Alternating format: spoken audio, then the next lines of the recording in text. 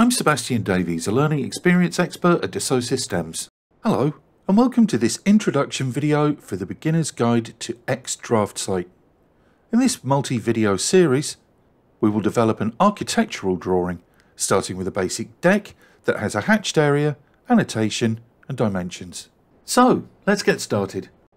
We start with xDraftSight open and a drawing loaded, shown in the title bar. This video will use an existing drawing with some options already configured based on a metric template. If you choose to follow along with this video, you may see some aesthetic differences but still be successful in completing the tasks. The interface has distinct areas that we use in combination to achieve results. Commands are accessible from the available ribbons, while the command line lets us activate commands with keystrokes, displays command options, and provides us with feedback. To use xDraftSight successfully, we will use a mixture of ribbon commands, keyboard input and the mouse. We need to start the deck by indicating an outline. To do this, we will use the rectangle command and click a point to define the first corner. As soon as the command is active, options become available in the command line. Once we click the start point, these are updated. We know the deck size, so we will type D and press the Enter key to define the rectangle with dimensions. This prompts us to enter a horizontal value, so we will type 4500 and press Enter. We will then use the same method to set a vertical value of 2500, pressing Enter again to confirm the input and create the rectangle. We will now add dimensions to make the deck size easy to read when printed. We will use the Smart Dimension command on the Annotate ribbon to do this.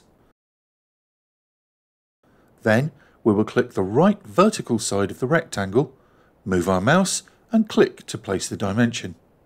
With the command still active, we will click on the lower horizontal line and place the next dimension. Then end the command by pressing the Escape key. The command line hides the horizontal dimension, so we will hold the middle mouse button to activate Pan and drag the cursor slightly to better see the dimensioned rectangle. We need to add a note identifying the deck, so we will use the text command also located on the annotate ribbon. We will click to indicate the first corner and type H and press enter to set a height of 150. The text height is significant, but we want it to stand out.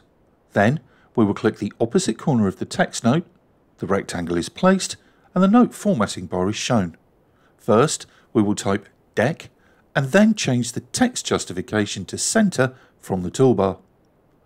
To complete the placement, we will click Create Note. The next step is to hatch the area to indicate the deck pattern. We can access the Hatch command from the Home ribbon. This displays the Hatch palette where we can change the settings. We want to decide how the hatch looks, so click Choose Pattern, then set a sample AR-HBONE style and click OK to confirm it. We will then specify the points for the hatch boundary. Moving the mouse inside the rectangle highlights the hatch area and shows us a preview. This looks good, so we will click and press enter to return to the dialog and click OK to confirm and add the hatch. If the hatch is too small or large and does not look good, modify the scale option now. A smaller number equals a denser hatch pattern. It's worth noting the hatch is reactive. We can see this by left clicking on the text note and dragging it to a different position. In our next video, we will look at more design tools. Thanks for watching. Stay tuned for even more great content and click the link in the description below to access additional tips, tricks and training courses.